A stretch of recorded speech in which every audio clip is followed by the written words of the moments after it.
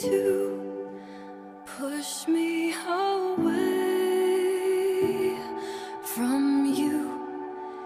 Easy to say you want to be left on your own, yet somehow I can't help but see.